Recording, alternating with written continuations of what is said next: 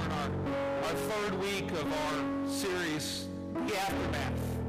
Uh, as you guys know, aftermath defined is simply this. It's a, a counter effect or a consequence of a significant, unpleasant event. And we've been working our way through how that cross is a significant, unpleasant event to many different kinds of people that many people have within them in their hearts as, as human nature, with our flesh, with our sinful being. And so today we're going to talk about the third person that each of us have inside of us. We don't like it. We're probably not proud of it. Nobody's going to jump right up and say, hey, that's me. Well, if they do, they're going to be identifying with the person, actually. It's disturber of the faith. It, it, it's simply put, it's a person who is negative and doubts the will of God. Simply put, it's a person that would block another person from the cross of Jesus Christ. You guys know what I'm talking about. It's that feeling on the highway when you just got done drinking 24 ounces of coffee and forgot to go to the bathroom before you left. It's the feeling of your crying baby awakening at 12:30 in the middle of the night when you just fell asleep at 11:45. And folks, it's the same feeling when you look at that cross right there and you see the horizontal and the vertical where God's will and man's intersected 2,000 years ago and in hearts in this room today. Sadly, it's still a rough fight. You see, we want to do the things of God. Paul says, I don't understand it. The, the good I want to do, I can't, but the bad, it just comes so easy. It's just natural. Wretched man, who's going to save me? And, and then he gives the thanks to the only person who can save, Jesus Christ. Amen? And so we see in Scripture listed 148 times in my Southern Baptist printed Bible. Sorry. HCSB, just throwing a little prop out there to the Southern Baptist. Praise God. All right. So we're, we're non-denominational. Don't give me any emails or anything. I'm just, the Bible was written. It was good Bible. I got it. Okay. HCSB listed 148 times. 148 times this word, this nature. The word is deceived. 148 times in Scripture it is mentioned. 148 times. Anybody agree that 148 times something talks about something, it might be important? That's kind of like my wife. It's your turn to change a diaper. Your turn, by the way. Hey, just remind me, the next one that goes, your turn. Okay, 148 times later, I change a diaper. Because I get it now, right? Deception. It's happening all across America today, and sadly enough, folks, this is true. It happens in churches. It happens in people's lives all the time. It sadly happens when small groups of believers get together and they don't want to focus on this. They want to focus on this. Gossip, hatred, slander, evil, things that you should not be talking about, don't need to be talking about, does not build anybody up, does not encourage anybody, but what it does fast is it tears everybody around you down deception 148 times. And a commonality from cover to cover in this Bible. How many people know cover to cover trumps 148, right?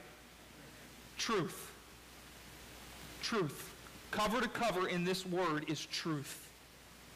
There is no way to trump 148 things with just one. But when you go cover to cover and you find 148 billion, Oh, we can do a ball game now. We can have at it. So what's the problem? It happened this week in Capitol Hill.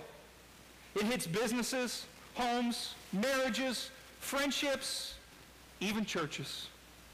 Division, disagreement, disorder, distraction, destruction, flat out disturbances.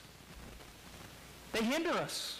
And sadly enough, regardless of what we say, how we choose to say it, some people feed off these disturbances.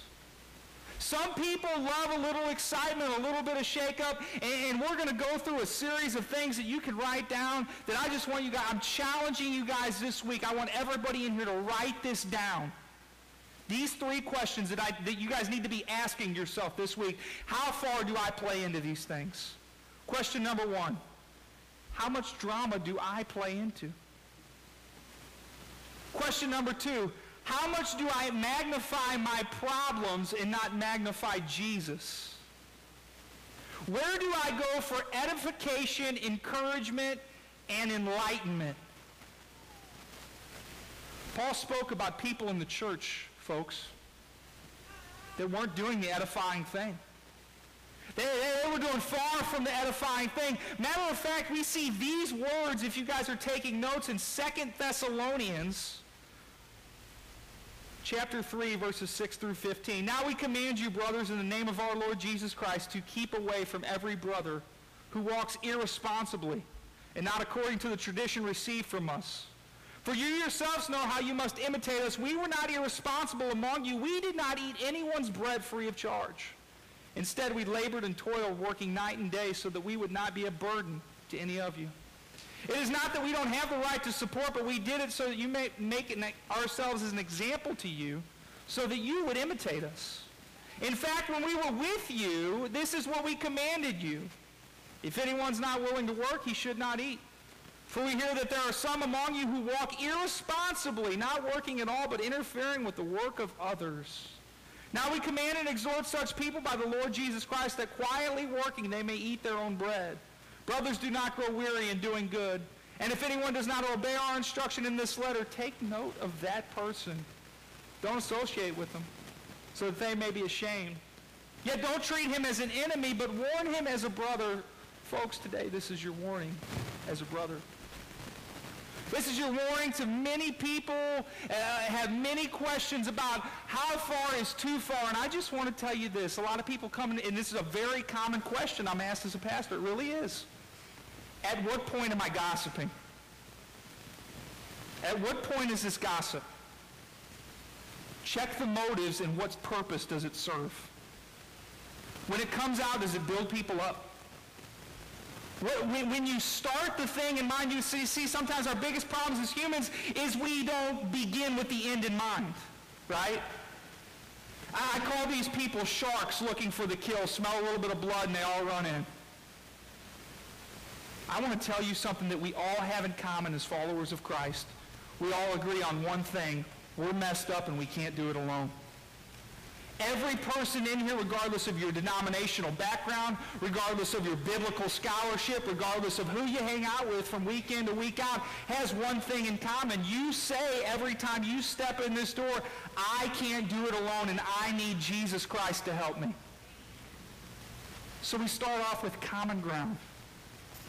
And we work our way into this. What if, church, what if today we gained as a congregation, as a group of followers, as a body of believers, what if we gained a healthy perspective on these disturbances instead of a negative perspective? Because I think one of Satan's biggest tricks is negativity. He poisons our perspective just a little bit and everything goes south. I don't know, man. Marriage kind of weak this week. I don't know. All my other friends are living it up. Everybody else is having a good time. I could be having a good time this weekend too. Instead, I'm pouring into this marriage. Instead, I'm doing this thing. Instead, I'm serving at the church. Instead, I'm doing all these other things. When everybody else is going out and doing this, oh, what about this one? I just wanted to hear my brother or sister's problems when they called me with an issue. Did you? Or did you participate in leading that brother or sister further away from the plan of God? You see, one of the first questions that we have to ask ourselves when we take in a little bit of negativity is this.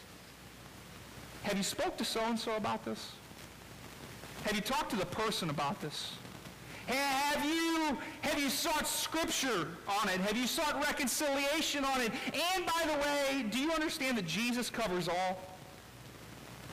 1 Peter 4, 8, love covers every transgression. Everything's been covered by the blood.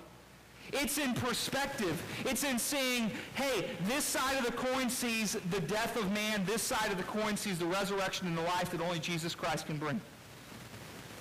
You see, today we're going to encounter a group of highly religious people.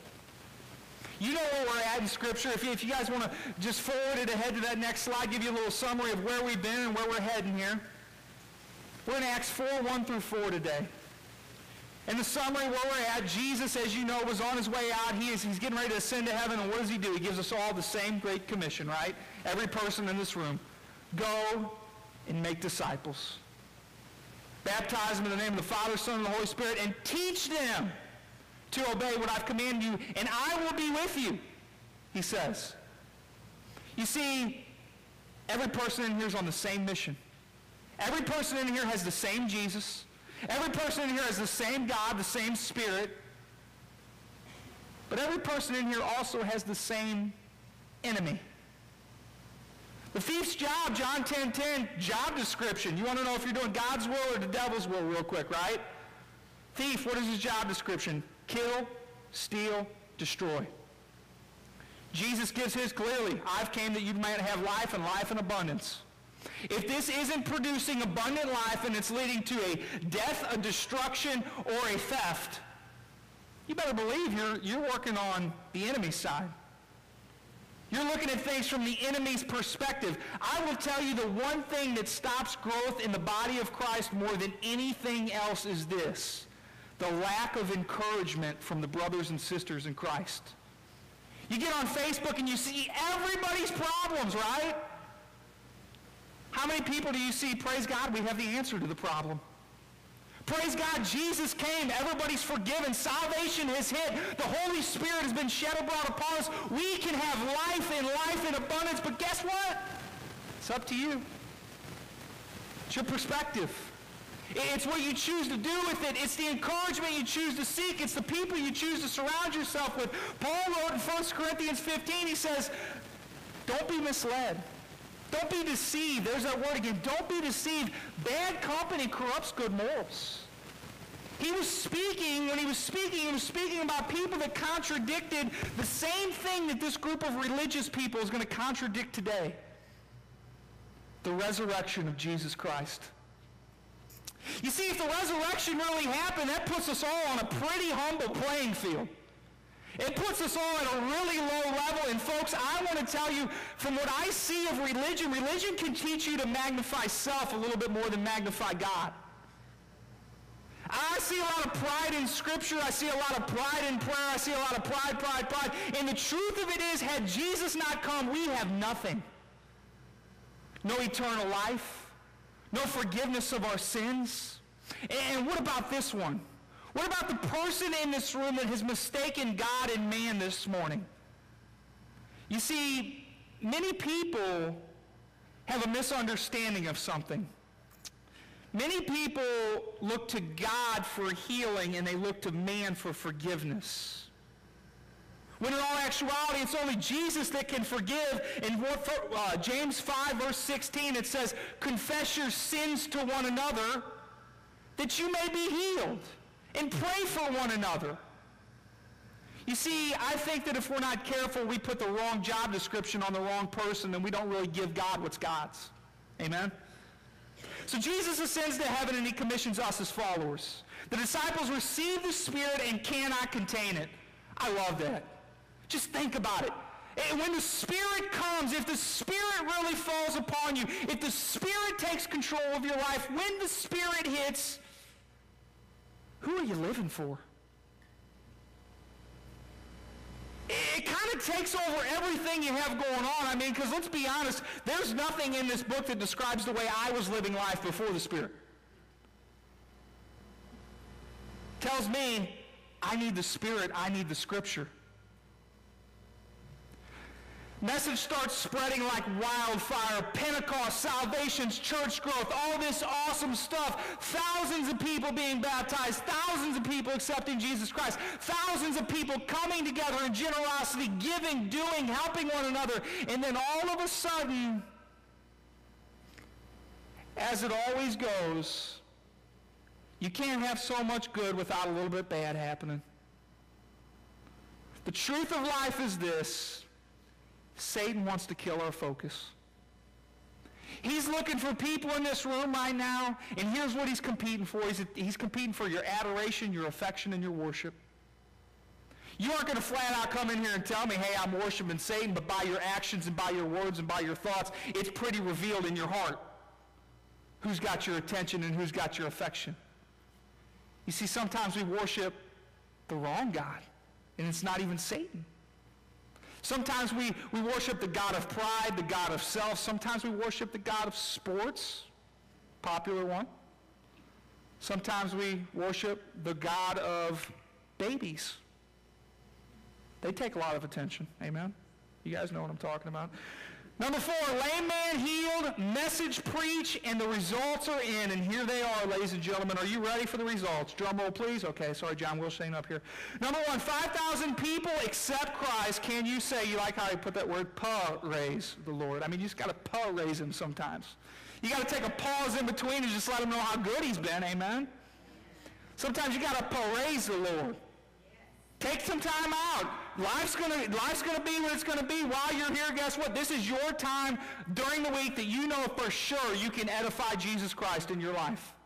And you can build yourself up. Kill those distractions. Praise the Lord. This is awesome. Anybody with me? Eh, and 5,000 people get saved. I mean, I'm dying to preach a message where one, no, I'm just joking. Anyways, 5,000 people get saved. This is amazing.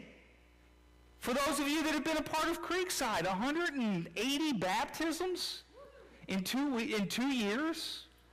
Almost three. The best is yet to come. Here's the 5,000 people just got saved. This is awesome. But to some, it's not. Some, it poses a threat. To some, control's about to shift. And if any of you guys remember that deal in Luke 4 with Jesus where he's tempted by Satan, you remember what Satan did to him? He took him on top of the mountain and he said, hey, I'll give you the power, but you got to worship me. You got to come to my side. There's power. You can have control of all these people. All these things will worship you. You will be awesome. And what happened to Satan himself? What was his big downfall? He wanted to consider himself equal with God Almighty. Pride got him. Worship me. Worship my stuff. It's what the world's saying every time we step out of the church doors. Look at the billboard. Look at the new house. Look at the cars. Look at the clothes. Look at the debt you can accrue and really ruin your life. Jesus provides a free gift, a radical gift of grace a life-changing freedom, a lifetime of fun, a lifetime of real companionship that you don't have to go out, go out every weekend and blow $100 to have. And for some reason, in our society, in the gravitational pull of man, that free gift isn't as accepted as we'd like it to be. You go out and you try to reach out to somebody, right? Go to Walmart, share the love of Christ. Hey, here's uh, $10. I want to take care of your groceries. Here's this, here's that. By the way, church is Sunday and Jesus loves you. How many people do that with it? No. Because when I start speaking the gospel, that's a little bit different. When I start actually telling people what I believe in, that's a little hard. The $10 fine, that's not an inconvenience. $10, okay, I'll take care of you. Cool. But to invest in your life and tell you who I truly believe in, the message I really believe in, there are people in this room right now who, to my disheartening, your friends probably don't even know you believe in Jesus. People in your life probably don't even know you believe in Jesus. I think that there's many followers that Jesus is wondering, though, if you, he wonders if you believe in Jesus. We need to awaken with the message and we need to believe in the message. We need to go out and truly share the message. But before we share it, we have to make sure the message we believe in is actually solid doctrine, solid truth. A miracle a message and now the truth, opposition from the disturbers. Acts 4, 1 through 4, if you got your Bible. If you don't, I don't know. You're grounded. Now, as they were speaking to the people, the priests, the commander of the temple, police, and the Sadducees confronted them because they were provoked that they were teaching the people and proclaiming the resurrection from the dead using Jesus as the example. So they seized them and put them in custody until the next day, since it was already evening. But many of those who heard the message believed, and the number of the men came to about 5,000. We got a lot going on here. We got a healed guy who can't deny that he's been healed. Doesn't know what he got healed by, but he's pretty sure it's got to be the power of God because nothing else could explain it. You got a crowd getting saved. 5,000 people got witness too. But you also have this religious place that doesn't believe in the resurrection. You also have these group of people that are dead in their trespasses that don't know what eternal life is. You also have a group of people who have done nothing but malign the work and the word of Christ. How does that mean us? Well, Jesus told Peter something very interesting in Mark 8. Mark 8, if you got scripture here. He told Peter, he said, him and Peter are talking, and Peter basically, I'm going to go 831 through 34, you can take note of it. Him and Peter are basically talking back and forth, they're having this conversation, and Jesus is telling him, basically he's predicting his crucifixion. He's saying the Son of, the son of Man's going to suffer. The religious people are going to hand me over. They're going to hate me. They're going to do all these things. And Peter, what does he say? Jesus, the Bible says that he openly, or Jesus was speaking openly, but Peter took him aside from the conversation with his fellow disciples. And he said, Jesus, you're out of your mind. He rebukes Jesus. How many people in here would have the nerve to rebuke Jesus? Peter's crazy. All right? Peter goes, he takes Jesus aside and he says, you're crazy. These people, Jesus, are you serious? And what does Jesus respond with? Get behind me, Satan. Jesus wasn't even deceived by the words of the enemy that came from his closest followers. Think about it. Sometimes the devil uses the people that we love the most to destroy our relationship with Jesus. Sometimes the Word of God, better yet, all the time, the Word of God is true. And Jesus says, Why'd you think I came to bring peace? Came to bring a sword. A man's greatest enemy is going to be the members of his own household. Friends are going to turn against friends, brothers against mothers, sisters and sisters, aunts and uncles, so on and so forth. Here we go. Division, disruption, disagreement. Too many people want to stay in between, though, and not pick a side of the fence. All that's happening to you is you just keep getting your heart ripped in half because you have divided loyalty. If you're in here this morning and you have a broken heart, a hurting heart, it is because your loyalty has been divided enough for it to break in whatever matter. And so you see, Jesus told Peter, so Peter himself had to know these religious people are going to cause a lot of trouble. Not you guys in church this morning, but other church people. They can be, they can be feisty. So Peter should have known better. Peter was going into the same situation. He saw the same people flip on Jesus. The same exact people. He saw it happen once, right? How many people know if you see something happen and it's the same group of people and they come back, you need to be a little bit cautious. Right? I mean, I don't know about you, but if I see a guy on the on TV that just got done stabbing 500 people, I'm not inviting him home for, in my home for coffee. Anybody agree with me on that? Peter knew what these people were full of. You kidding me? But here's what Peter knew beyond what these people were full of. Jesus is worth giving my life for. Jesus is worth giving my popularity for. Jesus, if he is real in my heart, is worth me giving everything up and going to jail for. Because he did, didn't he? You see, these Sadducees, these Pharisees, this, these group of people that always tried to trick Jesus, right? They always came to him with questions. The Sadducees themselves came to Jesus in time after time. Mark, Matthew, Luke, you can look up every account. It's in Matthew 22 if you look for it, 22 through 23 through 28. And in, in Mark, it's Mark, it's in Mark. It's in Luke, Luke 20. Okay? I got it here on my notes. Hold on. Just look at Mark. Read the whole book. You'll get it. All right? Church folks, I just got done warning myself. In Matthew, they come to him and they say this question. This is what they came to him and they asked. They said, hey, suppose a man and a wife, they're married, right? Check this out. Jesus going to trick you. They're married, right? So they said I do at Creekside. They're married. Where are my married people at in here? Everybody like being married? If you don't, don't answer. All right, we're in church. Oh, wait a minute. All right. So Jesus, because Jesus, Jesus, I got a question for you. You got to answer me. Lord, help me. Got a question. A man and his wife are married, and, you know, he dies. It's a bad day, right? Died. Um, now, the law says, teacher, correct me if I'm wrong, but the law says that his brother needs to marry her because they need to have kids. But then he died. So the next brother married, it happened seven times. Can you imagine living that life? Wow. I mean, Jesus answered it a lot more gracefully than I did, than I would, right?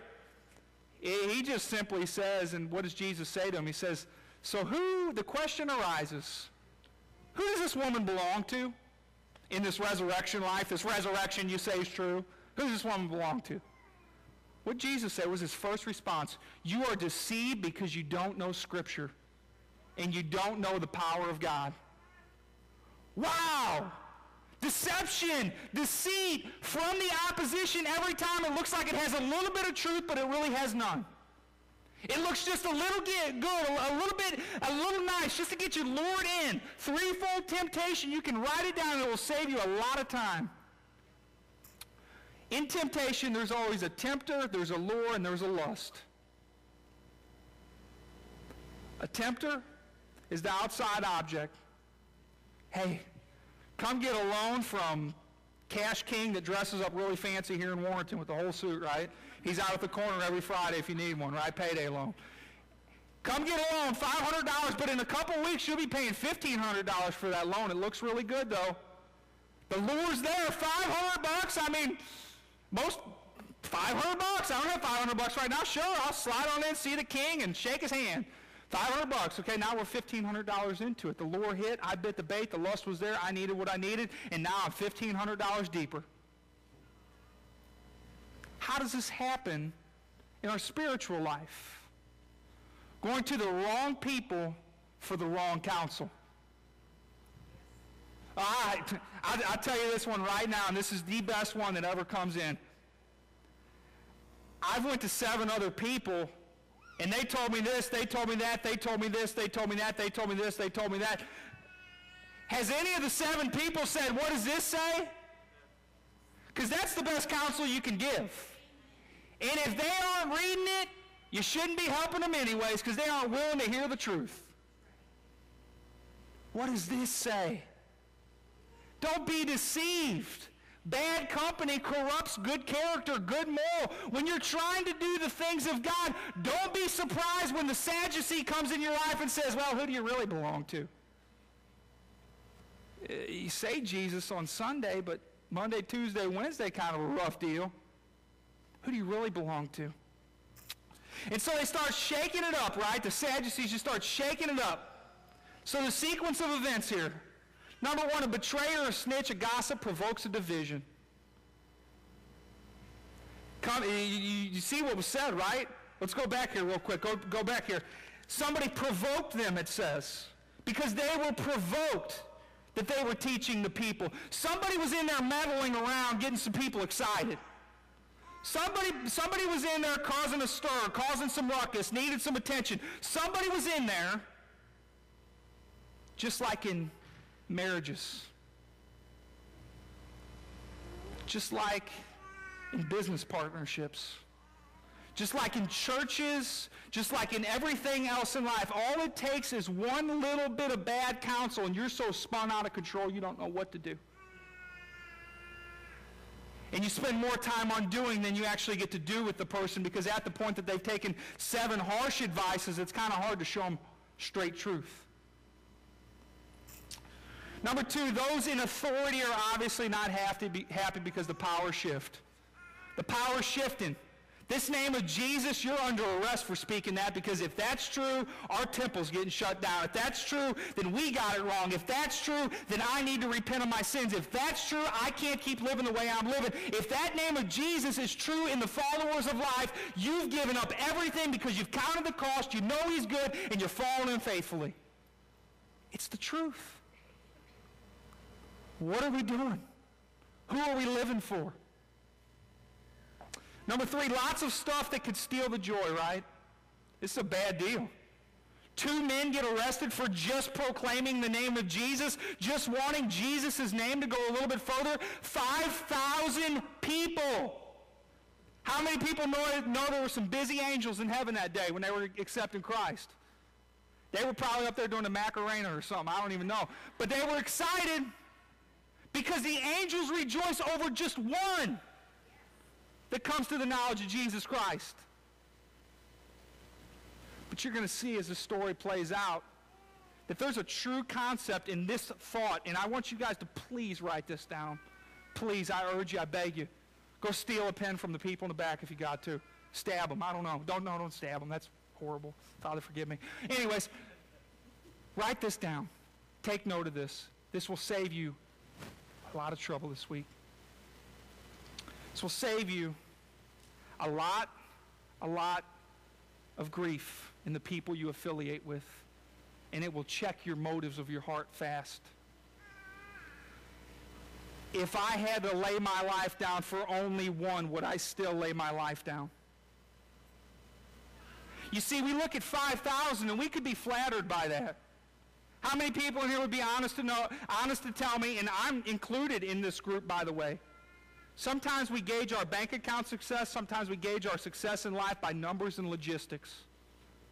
How many things did I fix this month? How many customers do I have? How much money do I have in my bank account, etc., etc., et cetera, et cetera. We can look at 5,000 people getting saved, and to us here today, this is really exciting and easy to worship stuff, right? But to the men that gave their life and gave their freedom up so that they would get saved, this is a rough day. To walk into a room, and I know that everybody in here knows this feeling. You walk into the room and you know there's people in there that don't like you. Anybody ever feel that? Ever feel the tension?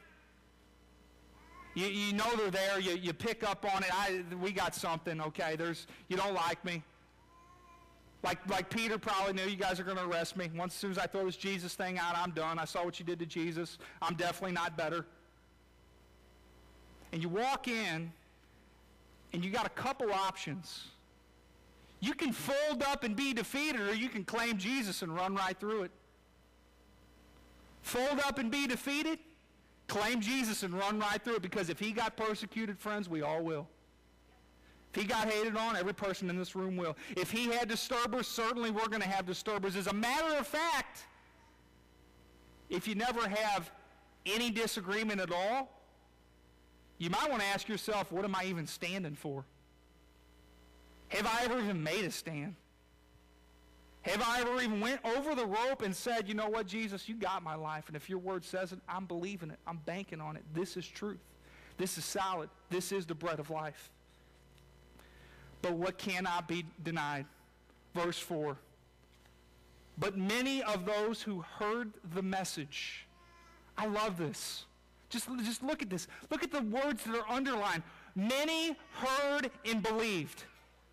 Many. How many people know many is a good thing to say?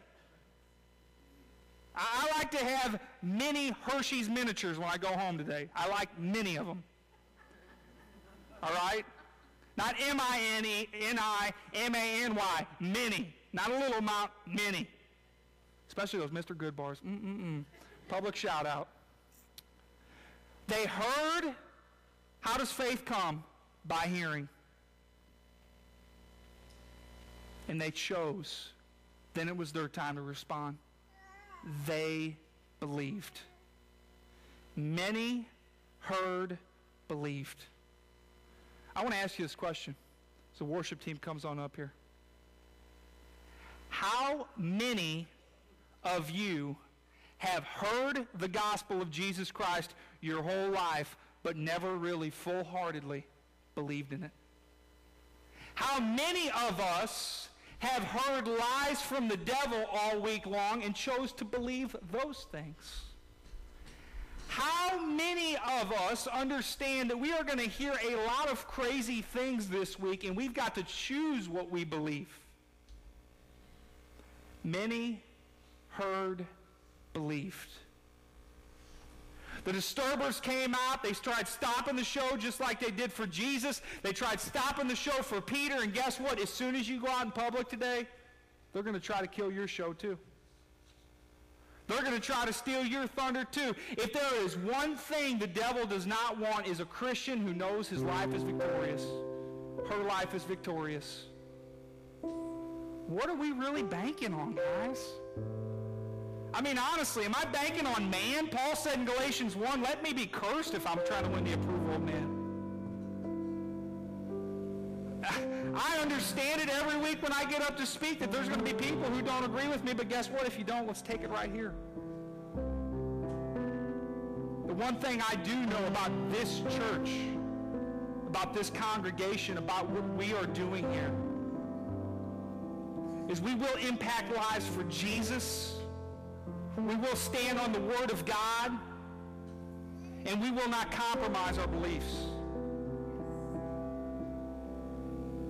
I'd love to preach a good, happy, feel-good, seeker-friendly message. Everybody comes in, but the truth is, you need to know what we believe, so if you're going to come alongside it, you believe in the same thing. Doctrine is huge, friends. Satan sifts people every day. He shifts families every day over disagreements in real, actual beliefs. You say, Pastor, well, what really matters? The majors first. We'll start with those. And a good three things to remember how we do this is God gets glorified, Jesus gets magnified, and the Spirit gets edified in our lives. We believe in God the Father that he sent his one and only Son to this earth so that whomever would believe in that name, wow, I like that. It's like anybody. Come on. Anybody that believes that name will be saved and will have eternal life. And the second part is that Jesus lived a spotless, perfect, totally awesome life here on earth. And it gave us proof and it gave us hope to show that he was who he says he was. He performed signs and wonders. He had disciples. He lived an awesome journey, an awesome life. And when he went to that cross, it showed all of us our debt's paid. Done. Free gift of grace.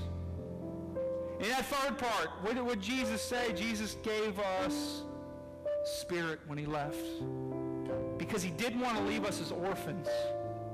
Because God's a good father. And I just want to close with this. Many people in here did not have good parents or do not have good parents or think that they will be bad parents because of the way their parents were. There's only one perfect parent, and it's your Father God. There's only one perfect father. There's only one way to be a father in a Christian household, and it's by getting the example from Father God. But God loved us so much. I mean, just think about this real quick. This is blow your mind. He didn't just stop at Jesus. He bankrupted heaven with his spirit to give it upon us. Because he didn't want anybody in this room to be an orphan. He didn't want anybody in this room to be an outcast, to be a down and out, to be a loser, to be a failure, to be a reject, to continue to be a disturber of the faith. What he wanted more than anything else is he wanted all to come to repentance and know him and live with him forever in eternity. That's what he wanted. So here's my question. With everybody's head bowed, everybody's eyes closed. I just want you to be flat out honest with me here. Are you believing some lies? I mean, honestly. Do, do you think for some reason, I mean, for some reason has your life turned into more of serving people than it has serving God? You serve God first, and then out of that, the overflow is serving people.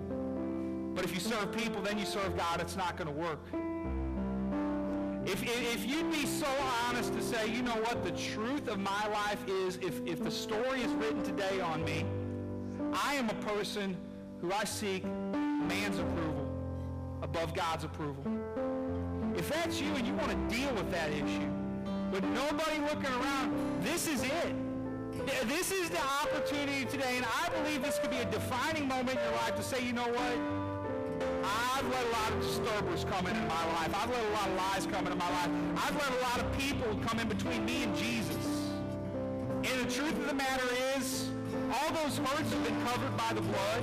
All those failures have been covered by the blood. Everything that's in yesterday is yesterday, and I know I serve a God of eternity, so he isn't in my yesterday, but he's looking ahead, and he's wanting me to focus my eyes upon him. If you're in this room and you'd be honest enough to say this morning, that's me, Pastor. Can I just see your hand? I have been pleasing people. I haven't been pleasing God. He sees my heart. I know my heart. I know what I'm doing here. I'm trying to please my husband, please my wife before I please God. I'm trying to please others before I please God. Matter of fact, by the time I get to even pleasing God, I'm so worn out from pleasing everybody else, I can't even please him. What I want to do is you guys lower your heads. Lower your hands, lower your heads, and focus on this word. God's word to man is this.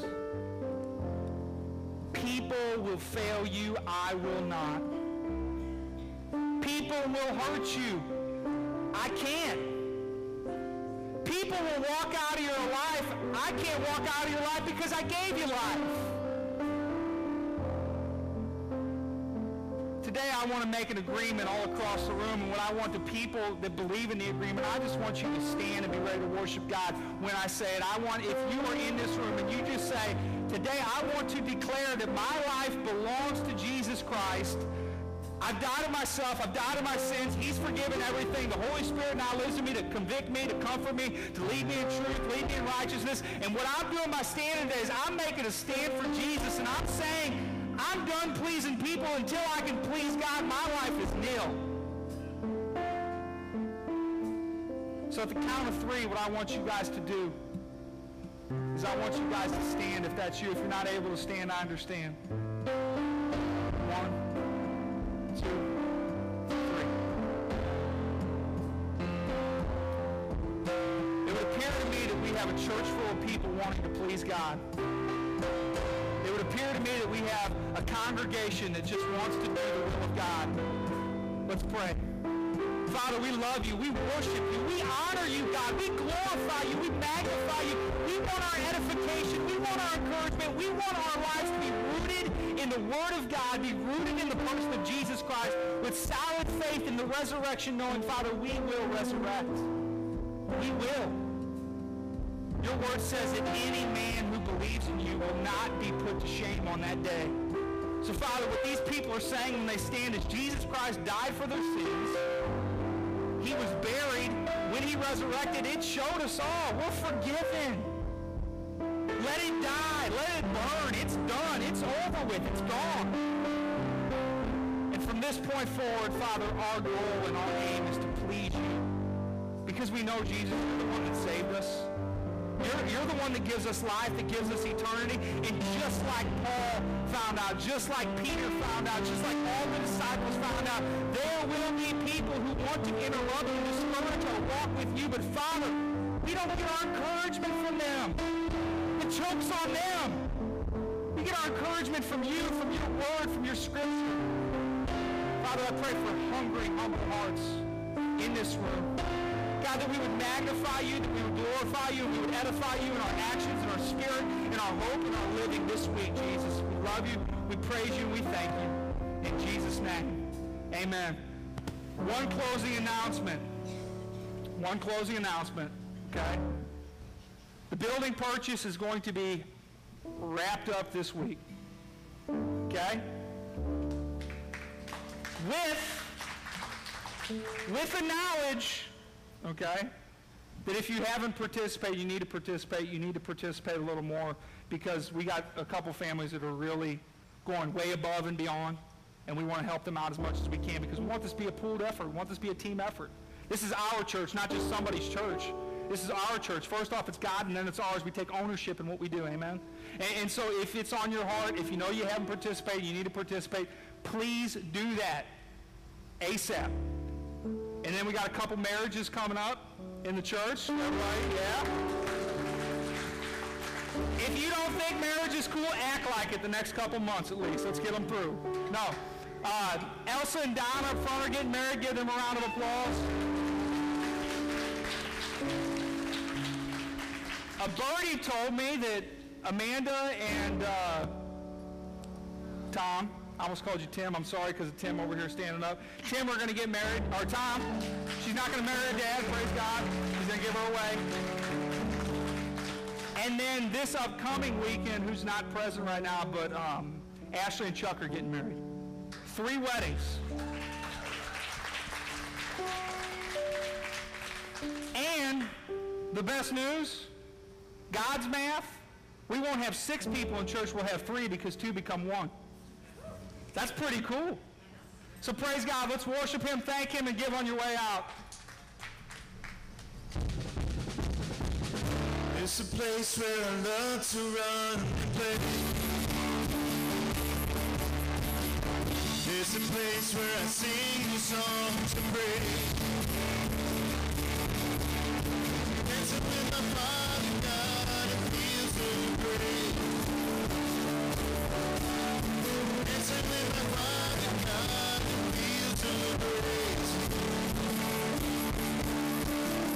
There's a place where I lose myself in Him. There's a place where I find myself again. Dancing with my Father God,